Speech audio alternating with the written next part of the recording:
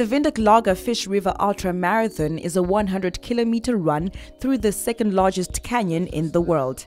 This marathon is the brainchild of a team from African Extreme Promotions, Tinus Hansen and Russell Pashka. You know, being the first year, you know, we'd you know like to keep it small, you know, and as you say, you know, get 10 uh, elite invited athletes taking part. And yeah, um, you know, in terms of medical backup, you know, we've got, you know, we've got paramedics on hand, guys that are, are, are competent in terms of abseiling. So yeah, I think all the bases are covered. You know, um, there's a mobile ambulance that'll, you know, come with, you know, in case, you know, we need it. So, you know, that's important, you know, especially if, if we've got an international audience that we cover all those bases. African Extreme Promotions is a company that specializes in creating extreme events in Namibia.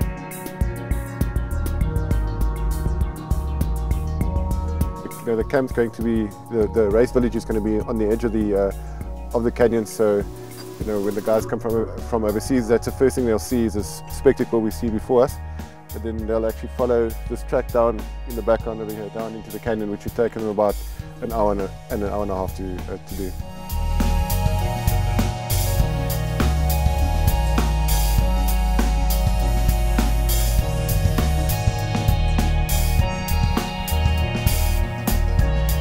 The country boasts of some of the most diverse landscapes in the world and that gave AEP the platform to offer sport tourism not only locally but internationally. This year, the organizers handpicked 10 athletes to run the marathon in order to fine tune the logistics with a manageable group of athletes.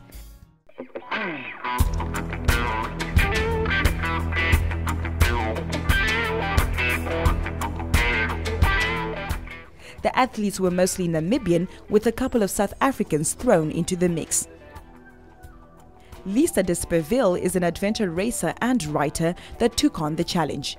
This is my first time to the Fish River Canyon and I've been very excited about this race. I've known about it for about a year and to get the opportunity to run the Fish River Canyon, which is normally a five, six day hike, to get the opportunity to run that all in one day, uh, for people like me, it's just the most wonderful thing to be able to do. I've been very lucky over the years where I've been able to run a lot of ultras, both stage races, which is multi-day, and single-day events.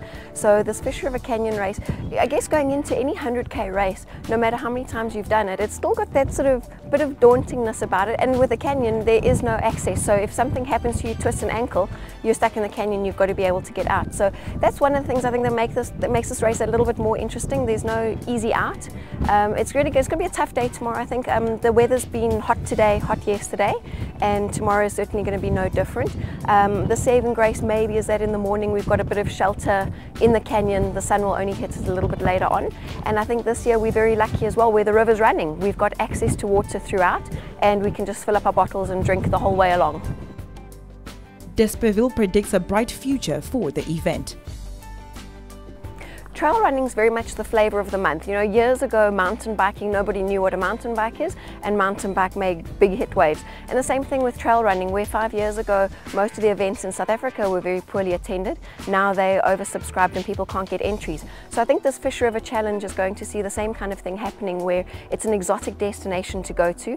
Many South Africans may have hiked this trail in five or six days, and you have the trail runners coming through saying, you know, I want to take on something that's a little bit more tough.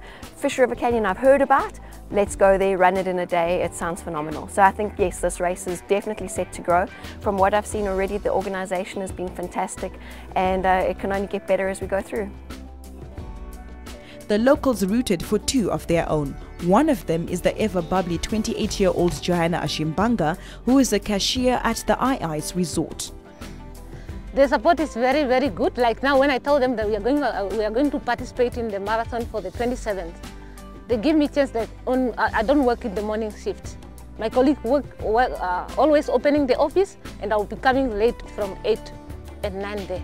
They give me chance to practice on the morning, in the morning. This, you also train every day? I do train every day, yes. The longest one I did is 40 kilometers. And for the canyon for me, because I did it last year, I walked a canyon for three days. And the moment I reached down the bottom of the canyon, I was imagining like if I did not carry heavy bag, I can run this canyon within a day. Then I completed by walking for three days. But by running, if I maybe carry something light for me, I don't think it's very difficult for me to run the canyon. This is very interesting and I think it will be very different from other uh, sports that used to be done in Namibia. Because when I heard even about the marathon in the canyon, it's something very interesting and it will current even people, what is canyon? Our people, they really don't, don't know what is even if I'm telling people they, I'm working at Ai-Ais, they don't know whether Ai-Ais is in Namibia or is in South Africa. It's very interesting. It's like we are promoting even our industry series in Namibia. This very, that could be very nice. Frans Amunyela again sees this as an opportunity to better himself as a person and an athlete. Okay, this one I'm very happy for him I'm very happy for this because, you know, when I joined the marathon, I joined it because I was looking for help. Then now I'm very happy to do the marathon for the local. It's my first time. Then I can say thank you to everybody who helped me to join this marathon.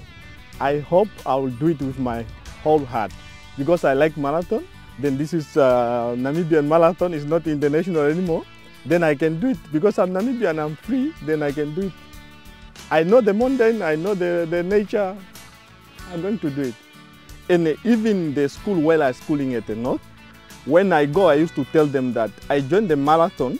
I didn't join it because of what I joined them so that I can open the door for the small kid so that they will come in my feet.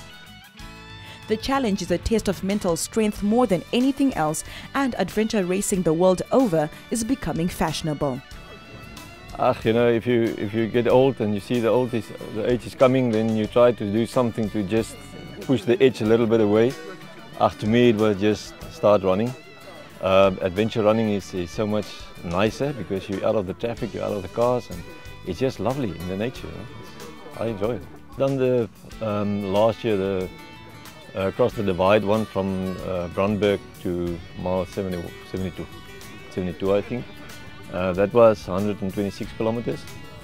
A bit different from this one because it was not really uh, the rocks. If you look at all the other marathons, the guys are all the other uh, adventurous marathons, Brandberg for instance, and the ones that they run in the uh, more northern part here in the uh, desert as well. I mean, all of them is, is up and running, so why not this one? This one I think is, is much more attractive because it's a, I would say it's a harder one because you know it's 24 hours non-stop, where the others is uh, you do it over a few days.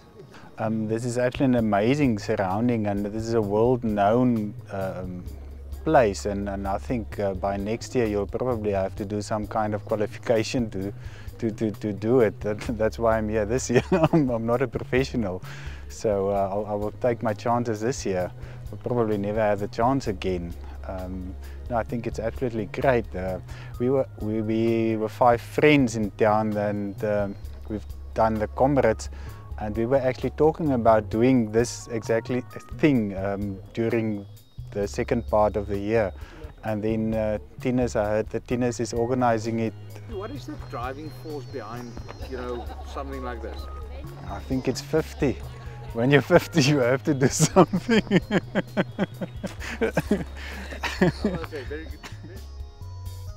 Rough terrain, river crossings, wet shoes, temperatures. Um, I'm sure we can suspect we've got a, quite a number of river crossings I've heard about and soft sand.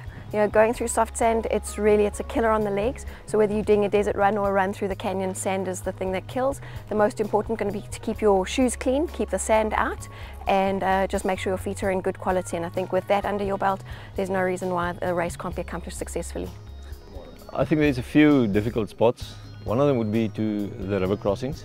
Um, the water in, in when, when, the socks get wet and so on. Uh, from there on, if you go with wet feet into the uh, thick sand, the soft sand, that might be a problem. But ach, you know, one what you have to see when you get there. Um, normally, when a lot of times when you get there, it's not that really that you anticipated. It's uh, then there's something else. You just have to be on the date. What comes, you must deal with. I think uh, the sand will be a problem. Um, sand in your shoes, uh, uh getting hurt and, and, and that. Um, there's no uphill kind of thing, so that should be okay. Um, the other thing is the temperature and the weather. If it's getting cold, especially tomorrow night, when you're doing the night shift, it is really not nice to, to, to, to, run in the cold weather. But I hope it, it it's okay and it, uh, the weather forecast is reasonable. So I think we're, that, that, but that would, for me would be the worst, the, the cold at night, because it can get very cold. Windhoek Lager snatched up the extreme scene in Namibia and sponsored the Windhoek Fish River Canyon Ultra Marathon. You've got some true authentic characters from, from Namibia and like and we've got a chef based down in Ice that is like going to run this race and uh, he, he's, he's actually going to come through and you know speaking to him you ask him why he's doing it because he wants to be true to himself that's, that's the, the bottom line. And I, I think that, you know, that, that really sums up the whole character of the Windhoek trademark.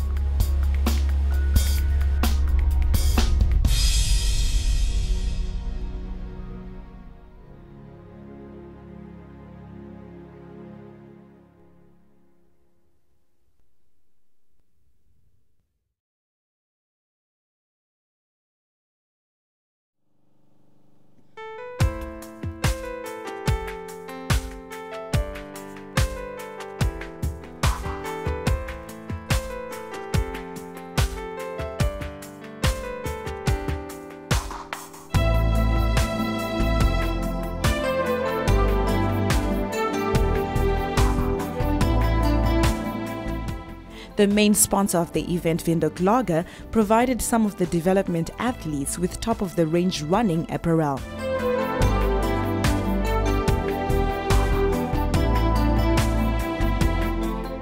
It was clear from the start that there will be no losers in this race. The nine people that put their hands up to do the self-supporting foot race are as ordinary as you and I, but mixed with that special ingredient. The race started on Saturday morning at 7 o'clock, and the steep descent into the canyon was the first major obstacle.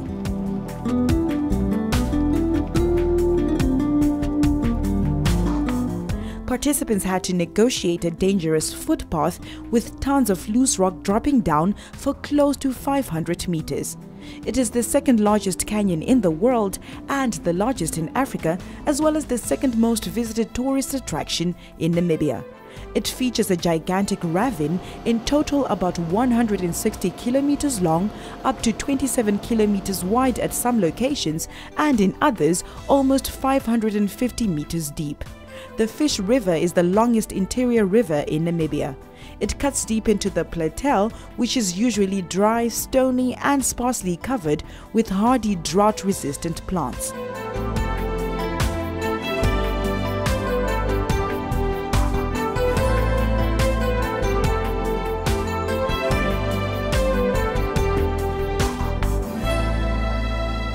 All were aware of the time, 10 hours 54 minutes set by four Namibians in 2003 over a similar route, but this year's competitors each had their own and different strategies which saw them completing the course.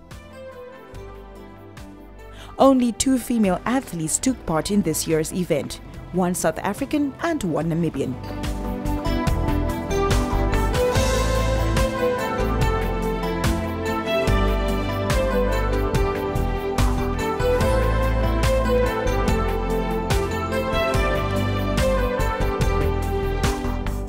The river flows intermittently, usually flooding in late summer, but with this year's good rains, the river is actually still running.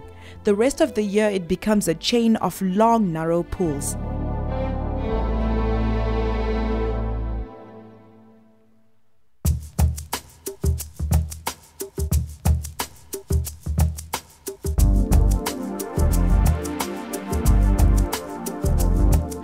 The rest of the route was not going to be much easier. Although the running surface became a lot flatter, the terrain was changing from boulder fields to thick sandy beaches to water crossings in the blink of an eye.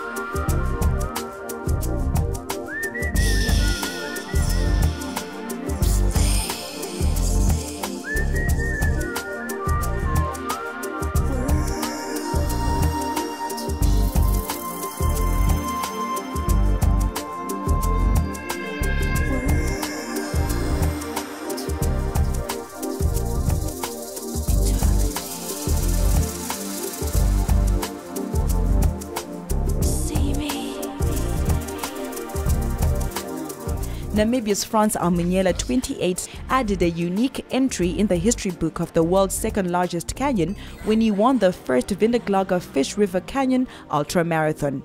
In near perfect weather conditions, Frans completed the technical and demanding 86 kilometer course in 9 hours 36 minutes and 56 seconds. This is after a flat out race with Henty U48, also from Windhoek, that ended in spectacular fashion at Ai-Ais. No, it was tough, but we cope on. The weather was very good, so that's what assistance. And also, I tried to pick up only on my way where I get a little bit lost, but I try to get my friend who showed me the right way, and then we try all the way. So thank you, it was very nice. Bak gaat, bak gaat, lekker. We doen het weer. Volgende jaar terug. Kijk, ons volgende jaar kan beter doen.